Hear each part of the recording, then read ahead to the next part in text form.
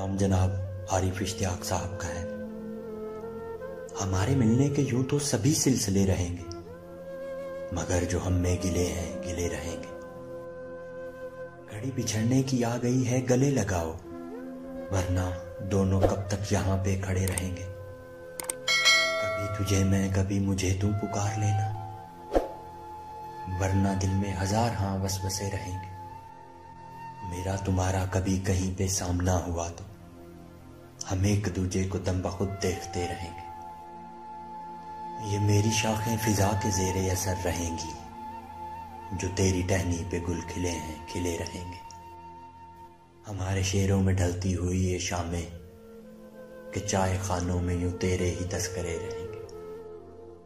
वो मैं कदा हो तेरी गली या मेरा मकान, ये कैद खाने तो रात भर ही खुले रहेंगे। कल ईद का दिन भी यूँ ही पर दर्द रहेगा, जो चाँद रातों को खत लिखे हैं, लिखे रहेंगे।